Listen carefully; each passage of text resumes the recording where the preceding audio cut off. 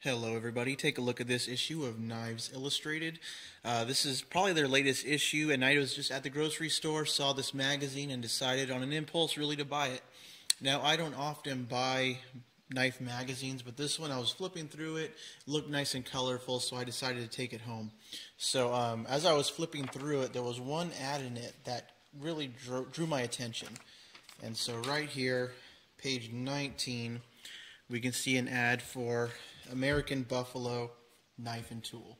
Now, I have never heard of this company before, um, but I was taking a look at this photo right here, and there's one knife in particular, this one, that looked really eye-catching. I liked the shape of it, and so as a result, I went to their website to check it out further. And of course, that's the topic of this video, is that I decided to buy this particular knife. It's called the Black Hills Folder and uh, that is from American Buffalo Knife and Tool. And this company, I've never heard of it before, but I guess it shows that advertising does pay because I went to their website, did some browsing, and they appear to sell mostly lower end um, user knives. A lot of them are in the traditional style, you know, a lot of um, slip joints, a lot of um, folding knives of that variety, most of them using relatively cheap steel. This knife is one of their better ones. So this one is the Black Hills folder, and I have it right here. So I really just liked the look of it. The shape of the blade was very attractive, so I purchased this one just direct from their website. It cost uh, $39.99 shipped. So, and I just ordered it right from them. And I, honestly, I've not seen any other sites that sell knives from this company.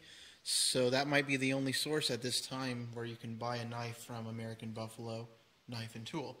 So I purchased this knife, and really the selling point, I mean, it looks beautiful.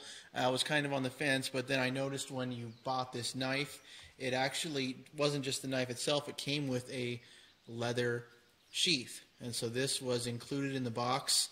And of course, you'll notice it doesn't have a pocket clip because it is a lockback traditional folder.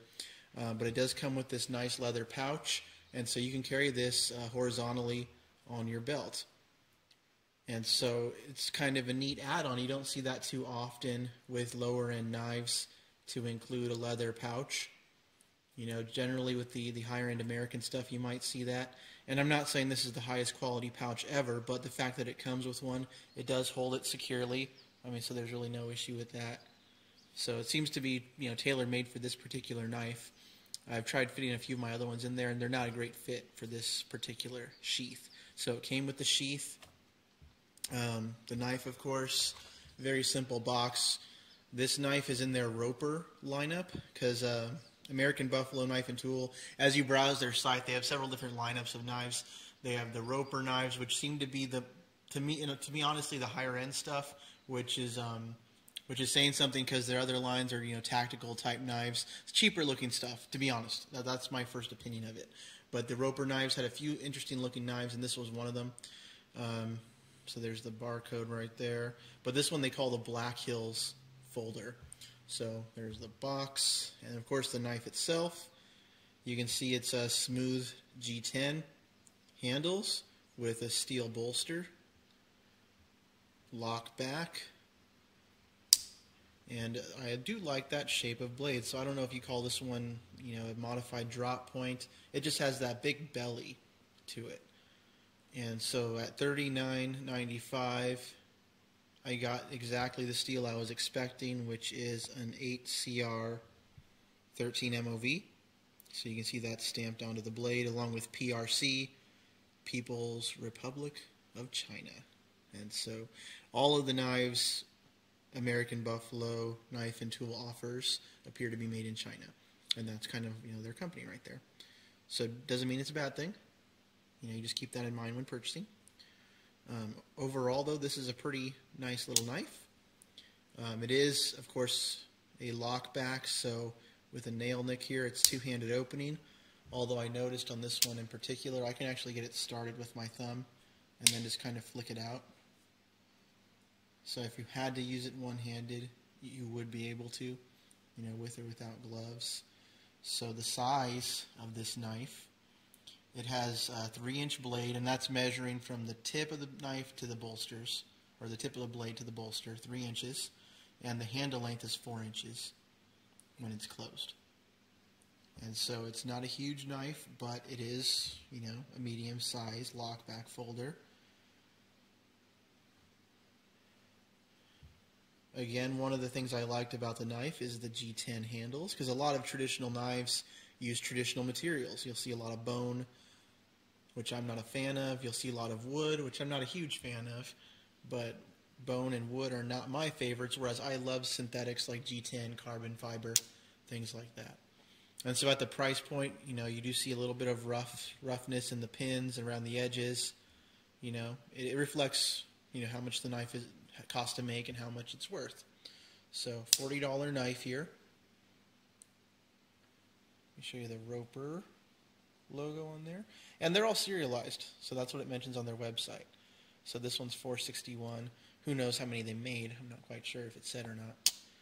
But um, it doesn't say the weight on the website, and I don't have a scale, but just in the hand, I would estimate it's, a, it's around four ounces. Um, and of course, if you have it in this leather sheath, you know, it's going to kind of disappear because it doesn't weigh that much even altogether. So really nice little knife. Um, let's do a quick size comparison here. Let's see, I always like to compare this review knife to the blur. And so here's the Kershaw blur, which of course is your more full-size tactical style folder. So I can just hold them side by side. It's always hard with the camera angles to make it look accurate, but the blur, of course, is significantly longer. I'd say at least an inch longer overall in total size. And really not a fair comparison because they're just totally different types of knives, but I wanted to show people side by side what they might look like. There we go. Um, of course, like I said, lock back knife. You can see I'm trying to open it one-handed, and it's possible. It's not a, you know, a fast opener, so I wouldn't recommend it if you need an absolute fast opener. But um, really cool little design.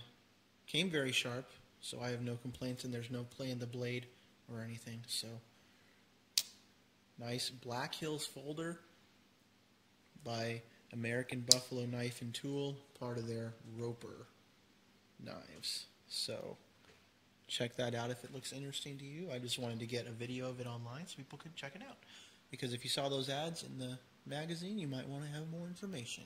So hope this helps you out. If you have any questions, please do leave a comment. Thank you.